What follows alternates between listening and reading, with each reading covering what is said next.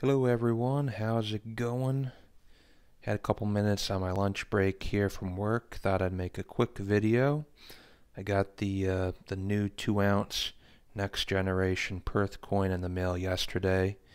Uh, didn't really have time or didn't care to put in the effort to make a video then, but just want to give you a look at it because they are different.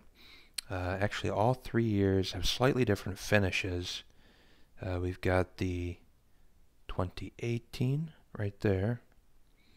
Nice coin. We've got the 2019, which I think is my favorite uh, pattern. And then the new one, the 2020. Uh, tell me what you think. Uh, which one do you like best? They're all slightly different finishes, like I said. I wonder if I should orient the uh, camera the correct angle. That usually helps, don't you think? Uh, boy, I think I messed it up already. Well, anyways, let's uh, flip it over. There we go. We got the uh, kookaburra there.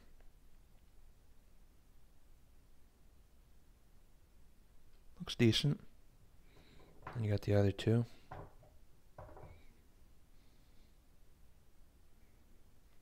So there you go. First one.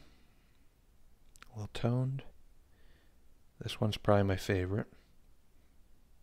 And the new one.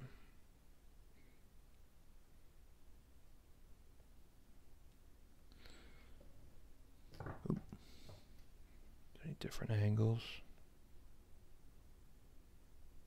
Pretty cool. But real quick video. Just thought I'd show it off.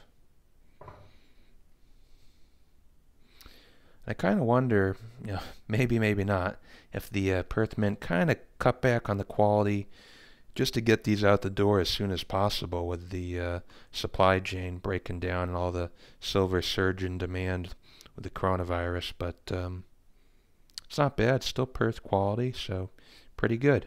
All right, well, I hope everybody has a good day.